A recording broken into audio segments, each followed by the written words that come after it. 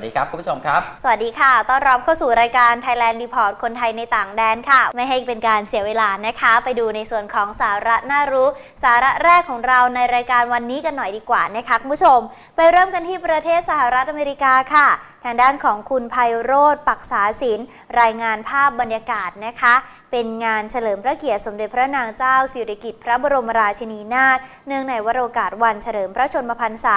12 สิงหาคมค่ะ ที่จัดขึ้นที่ศาลาอเนกประสงค์ วัดวชิระธรรมประทีปลองไอแลนด์นิวยอร์กนะคะโดยงานครั้งนี้ค่ะมีนายรัศมีจิตธรรมกงสุลใหญ่ในนครนิวยอร์กเป็นประธานในพิธีนะคะ นายปรีชาแก่นสารค่ะ พร้อมด้วยข้าราชการสถานกงสุลนะคะ นางสุพิศราชมพานค่ะ ผู้อำนวยการสำนักงาน BOI นิวยอร์กและนางสุจิตราปารีวงศ์ประธานศูนย์วัฒนธรรมไทย แห่งรัฐนิวยอร์กนะคะ แพทย์หญิงสมศรีรัตนประสาทพร นายกสมาคมชาวเหนือแห่งรัฐนิวยอร์กค่ะ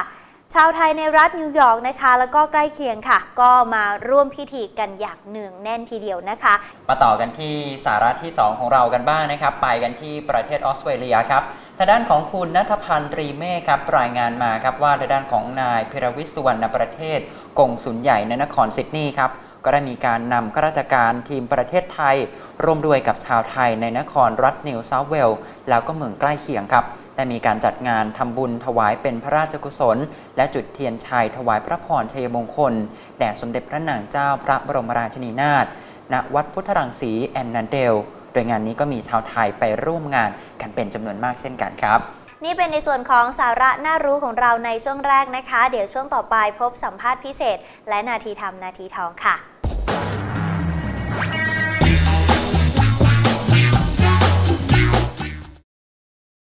สวัสดีครับคุณผู้ชมครับ ผมสุภวัตวรมาลีนะครับ วันนี้ยังสนทนาต่อเนื่องอยู่ที่เมืองเพิร์ธนะครับออสเตรเลียครับ อยู่กับเจ้าของร้านนะครับซิกเซนครับ คุณภาคภูมิเรืองประภัยนะครับ แล้วก็คุณมนอนุตระโสธีครับ สวัสดีครับสองท่านครับสวัสดีครับอ่าเราทิ้งท้ายไว้เทปที่แล้วนะครับ คุยกันไว้ค้างนะครับ เกี่ยวกับเรื่องร้านของเรานะครับ ปกติแล้วเนี่ยเพิ่งมาเปิดแค่ปีกว่าเอง แต่รู้สึกว่าจะจัดกิจกรรมร่วมกับชุมชนไทยเนี่ยหลายครั้งแล้ว ที่มาแนวคิดครับไปทำยังไงถึงมีกิจกรรมเหล่านี้ได้ ให้มนตอบก่อนก็ได้ครับ ก็อย่างที่กล่าวมาอ่าข้างต้นว่า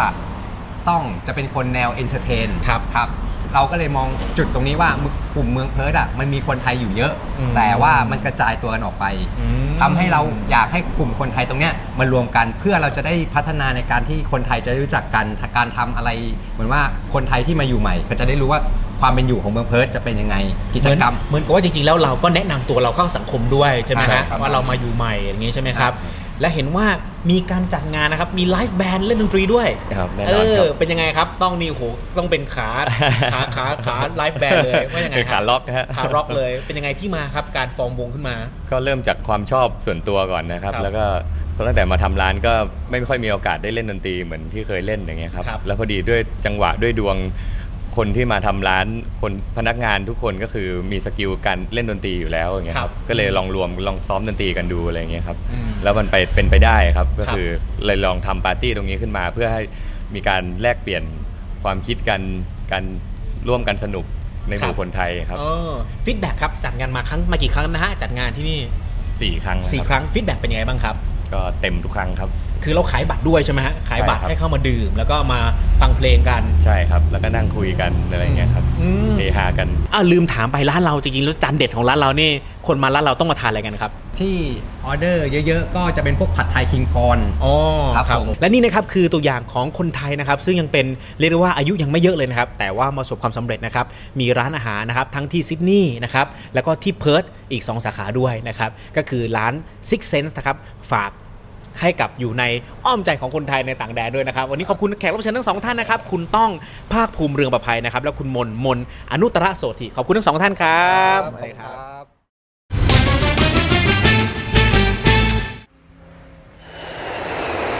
Welcome to Thailand, boys!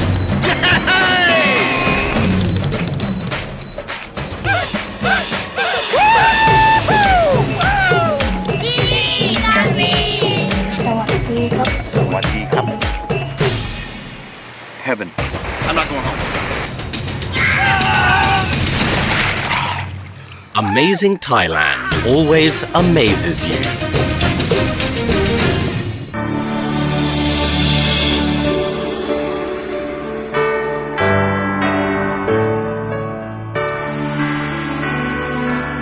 ในชีวิตของเรานั้นมีเพื่อนอยู่ 3 ประเภท 1. ปาปมิตร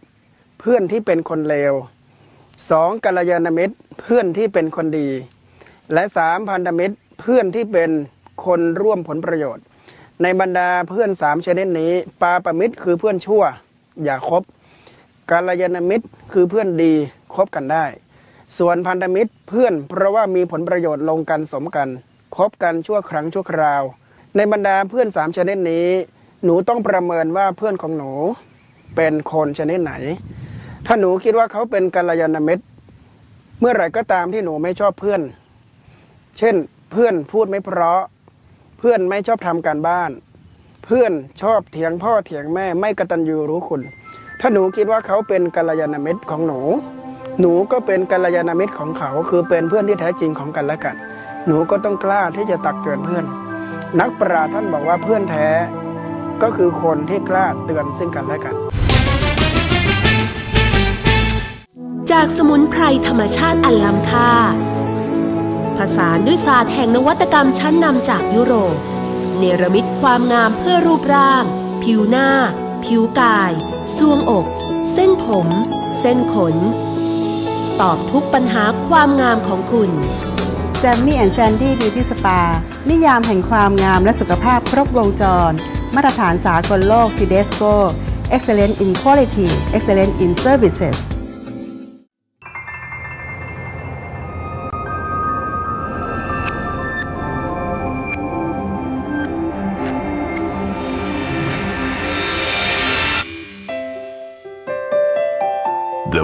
best technology, with a touch of Thai's legendary service, transforms the in flight comfort into the ultimate experience.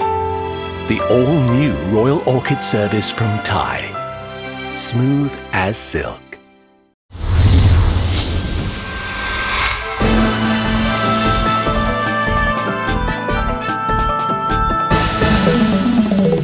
ท่านผู้ชมครับ วันนี้ช่วงการทูตเพื่อประชาชนในกระทรวงการต่างประเทศนะครับ วันนี้ผมอยู่กับคุณเพ็ญแขอินทรสุวรรณนะครับเลขานุการเอกอ่าประจำสถานเอกอัครราชทูตณกรุงปารีสนะครับ ประเทศฝรั่งเศส ซึ่งก็ทำหน้าที่กงสุลด้วยนะครับขอบคุณครับเอาสวัสดีครับ สวัสดีค่ะ ในโอกาสมาประชุมเจ้าที่กงสุลโลกที่ประเทศไทยค่ะทีนี้อยากให้คุยเรื่องของชุมชนไทยในฝรั่งเศสในในส่วนที่ของสถานสถานสถานทูตเนี่ยก็ไป ไปสัมผัสหรือไปบริการมาเนี่ยมีปัญหาหรือมีความเป็นปึกแผ่นบ้างน้อยแค่ไหน ค่ะ ชุมชนไทยในฝรั่งเศสก็จะมีประมาณ 30,000 คนนะนะคะ ครับส่วนใหญ่ก็จะเป็นผู้หญิงไทยที่สมรสกับคนฝรั่งเศส ครับ ก็จะเป็นแม่บ้าน แล้วก็บางส่วนเนี่ยก็จะทำธุรกิจร้านอาหารไทย ครับ แล้วก็บางท่านก็เป็นเจ้าของธุรกิจร้านสปาไทย ร้านนวดไทย ครับ ค่ะก็ มีความเป็นปึกแผ่น แล้วก็มีความช่วยเหลือเกื้อกูลกันพอสมควรนะนะคะ มีการจัดตั้งชมรมสตรีไทยในฝรั่งเศสครับก็มีเอ่อคุณปณิธานเป็นประธานสมาเป็นประธานชมรมอะค่ะครับแล้วก็ผู้แทนของชมรมเนี่ยก็มาช่วยงานที่สถานทูตด้วย มาช่วยคนไทยกรอกข้อมูลต่างๆนะคะ กรอกครับแบบฟอร์มก็เอ่อมีกิจกรรมร่วมกับทางสถานทูต เป็นระยะนะคะครับแล้วก็ล่าล่าสุดเนี่ยทางเอ่อชมรมสตรีไทยเนี่ยก็ทำหนังสืออยู่ยังอยู่อย่างไรในฝรั่งเศสเล่มสองครับ ซึ่งก็เป็นหนังสือที่ดีมากเลยค่ะ ก็ให้คำแนะนำเกี่ยวกับการเข้าไปตั้งถิ่นฐานในฝรั่งเศส ครับทีนี้อยากถามว่าแล้วในส่วนของเอ่อนักเรียนไทยที่ไปเรียนที่ฝรั่งเศสมีมากน้อยแค่ไหน นักเรียนไทยในฝรั่งเศสเนี่ยก็คิดว่ามีประมาณเป็นพันคนนะนะคะ แต่ว่ากระจายกันอยู่ตามเมืองต่างๆ ในปารีสในเมืองลียง ครับค่ะแล้วทราบว่าในในอาณาบริเวณที่การรับผิดชอบของ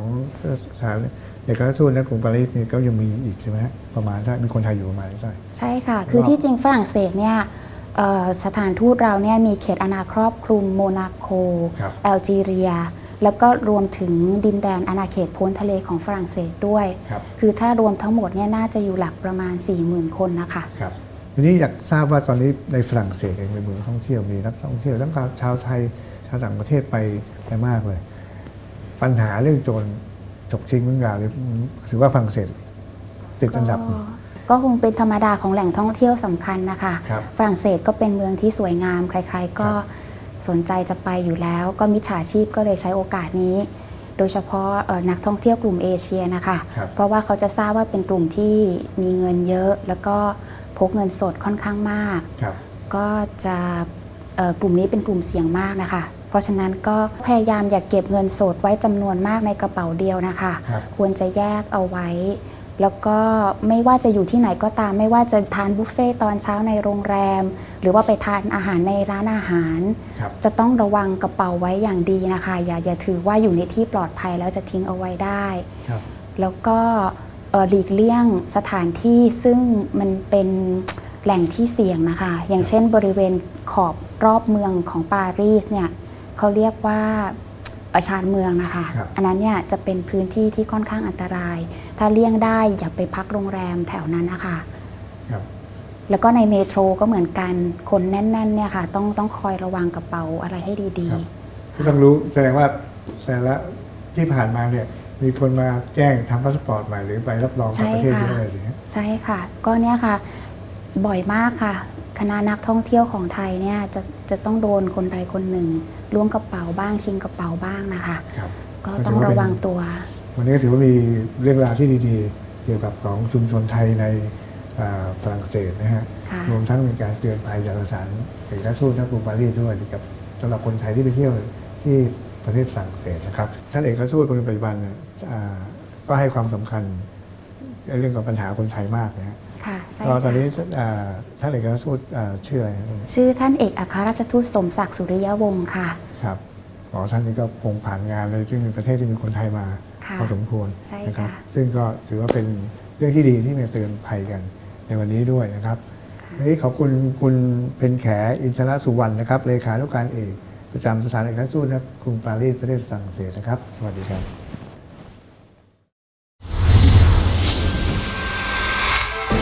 สนับสนุนโดยกระทรวงการต่างประเทศ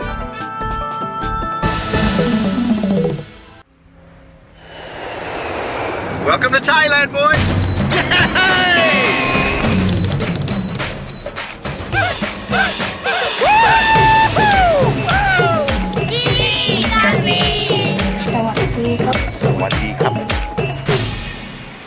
Heaven. I'm not going home. Amazing Thailand always amazes you.